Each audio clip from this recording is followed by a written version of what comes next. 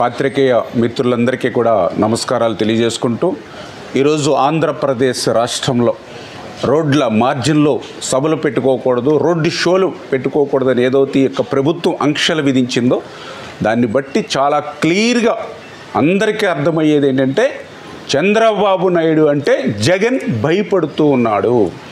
ఎందుకంటే ఈ నాలుగు సంవత్సరాల జగన్మోహన్ రెడ్డి కక్షలు కేసులు వేధింపులు అరాచక పాలనను చంద్రబాబు నాయుడు గారు ప్రశ్నిస్తూ ఉంటే ఈవేళ స్వచ్ఛందంగా వేలాది మంది జనాలు రాత్రి అర్ధరాత్రి సైతం రోడ్ల మీదకి ఏదైతే వస్తూ ఉన్నారో అదే సమయంలో జగన్మోహన్ రెడ్డి సభలకు అటు వాలంటీర్స్ బెదిరించి ఇటు డోక్రా మహిళలను తరలించి పెద్ద ఎత్తున స్కూల్స్ కాలేజీలని సెలవులు ప్రకటించి ఆ బస్సులను ఉపయోగించి జనాలను తీసుకొచ్చిన జగన్మోహన్ రెడ్డి సభ ప్రారంభమయ్యే సమయానికి ఏదైతే ఖాళీ కుర్చీలు ఏదైతే దర్శనమిస్తూ ఉన్నాయో దానితో ఈవేళ గ్రౌండ్ లెవెల్లో ప్రజల్లో ఒక మాట వినిపిస్తూ ఉంది. చంద్రబాబు నాయుడు గారి సభలకు ఇసుకేస్తే రాలనేటువంటి జనం పోటెత్తుతూ ఉన్నారు.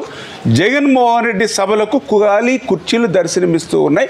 జగన్మోహన్ రెడ్డి పని అయిపోయింది అని ఏదైతే ఈ మాట స్పష్టంగా రాష్ట్రంలో వినిపిస్తుందో దాన్ని సహించలేనటువంటి జగన్మోహన్ రెడ్డి ఈవేళ ఆ యొక్క ప్రజా గొంతుకును నొక్కేటువంటి విధంగా ఇటువంటి ఆంక్షలు తీసుకురావడం జరిగింది. ఈ ఆంక్షలకు కూడా మరి ఏదో ఒకటి రెండు కారణాలు చెప్పాలి కాబట్టి ఏదైతే కందుకూరు మరి గుంటూరు సంఘటన చెప్తూ ఉంది ఈవేళ ఈ ప్రభుత్వం.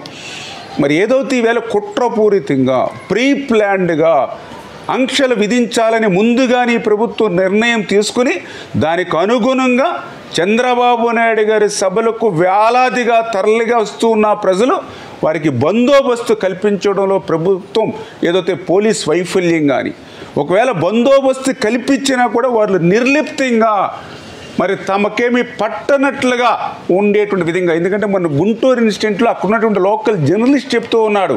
అక్కడ తొక్కిసలాట జరుగుతుందని అక్కడ ఉన్నటువంటి మెన్నకి చెప్తే ఆయన ఉన్నతాధికారంగా చూస్తున్నాడు. కానీ కనీసం అక్కడికి వెళ్ళి దాన్ని నిలపడానికి ప్రయత్నం చేయలేదని అంటే ఒక కుట్రపూరితంగా కందుకూరులో కానీ అదేవిధంగా ఇక్కడ గుంటూరులో కానీ ఏదైతే ఆ దుస్సంఘటనలు జరగడానికి కూడా ప్రభుత్వమే కుట్ర చేసి వీళ్ళ కారణం చెప్పి ఈవేళ ప్రతిపక్ష నాయకుడిని ప్రతిపక్ష పార్టీల్ని ప్రజల్లోకి పోకుండా చేయాలనేటువంటి దుర్మార్గమైనటువంటి ఆలోచన ఏదైతే ఉందో.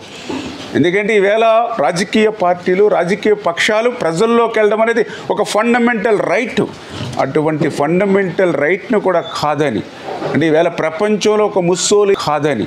అంటే ఈవేళ ప్రపంచంలో ఒక ముస్సోలిని ఒక హిట్లర్ లాంటి నీంతలు కూడా తీసుకోనటువంటి ఆంక్షలు ఈవేళ జగన్మోహన్ రెడ్డి ఏదైతే తీసుకుంటూ ఉన్నాడో దానికి భవిష్యత్తులో. ఎందుకంటే ఇందిరాగాంధీ అత్యంత శక్తివంతురాలైనటువంటి ప్రధాని సైతం ఎమర్జెన్సీలో ఇటువంటి అంశాలు పెట్టి ఎట్లా ఆమె పరాజయం పొందిందో మనందరం కూడా చూసాం. ఎంత విచిత్రం అంటే ఈరోజే జగన్మోహన్ రెడ్డి దీ జీవో తీసుకొచ్చాడు ఇటువంటి ఆంక్షలు పెడుతూ. కానీ ఈరోజే ఆయన రాజమండ్రిలో మున్సిపల్ స్టేడియం నుంచి ఆర్ట్స్ కాలేజీ వరకు కూడా పెద్ద ఎత్తున రోడ్ షో పెట్టుకున్నాడు. అంటే ఈ ఆంక్షలు అనేవి అధికార పార్టీకి వర్తించవు ప్రతిపక్ష పార్టీలకు మాత్రమే వర్తిస్తాయి. ఈవేళ థర్టీ యాక్ట్ గతంలో నేను కూడా శాసనసభ్యుడిగా ఉన్నా తెలుగుదేశం ప్రభుత్వంలో. అప్పట్లో అలా థర్టీ యాక్ట్ గురించి కానీ ఫార్టీ వన్ నోటీస్ గురించి కానీ హౌస్ అరెస్టుల గురించి కానీ నేను ఎప్పుడు చూడలా.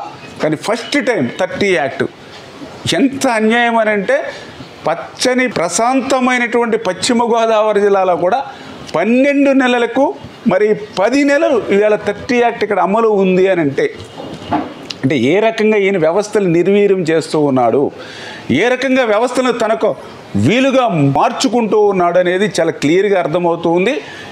ఏది ఏమైనా ప్రజా గొంతుకును నొక్కాలని జగన్మోహన్ రెడ్డి చేసేటువంటి విషపు ప్రయత్నాన్ని రాష్ట్ర ప్రజలందరూ కూడా అడ్డుకుంటారు. నువ్వు ఎన్ని ఆంక్షలు పెట్టినప్పటికీ కూడా ప్రజలందరూ కూడా రోడ్ల మీద రావడానికి నువ్వు ఎన్ని కేసులు పెట్టినా ఎన్ని అరెస్టులు చేసినా ఎన్ని రోజులు నువ్వు జైల్లో పెట్టినా కూడా ఆ ప్రజా గొంతుకుని వినిపించడం కోసం ప్రజలందరూ కూడా నినదిస్తూ రోడ్ల మీదకు వస్తారని ఈ యొక్క